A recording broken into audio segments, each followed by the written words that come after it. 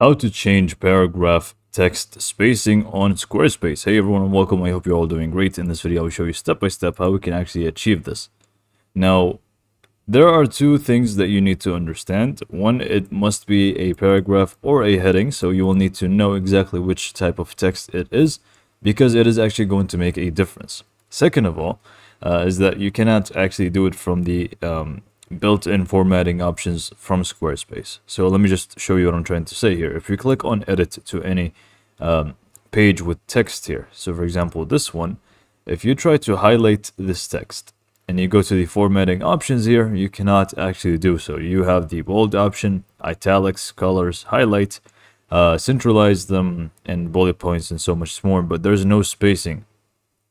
So you don't have that option from the formatting. So instead, you will need to do it with custom css now it is actually very simple and easy to do so it's not complicated at all so don't worry. But first what i need you to do is go ahead and open up your uh, squarespace. Open up the text that you want to format and increase the spacing for. Uh, for example this one. Go ahead and actually highlight it for me and just see whether it's going to be a heading heading one two three or paragraph because this here is a paragraph and this is a heading and I'm going to do both of them and I will show you exactly how, how it works. So click on save after you're done and just click on exit. And now from here you want to just go to the pages option from the website. So just click on pages and then you want to scroll down to the bottom until you find the website tools. Click on that and then we want the custom CSS option. Click on that.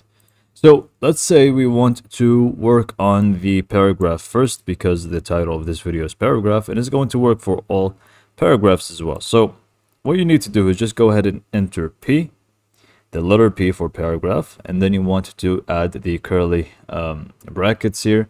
Hit enter once and then do line dash height colon space and then you want to enter the amount which is going to be for time being 3 and then you want to add em and this is going to as you can see increase the spacing. If you want it to be less you can just do 2 you can do 1.5 or something and it's going to be looking like that. But you can see in the middle it's not actually doing anything because this is a heading uh, heading 2 specifically. So you will need to actually uh, address that in the css so if you wanted to actually apply to a heading Instead of P, you want to basically replace the P with H1, 2, or 3, depending on which type of heading it is.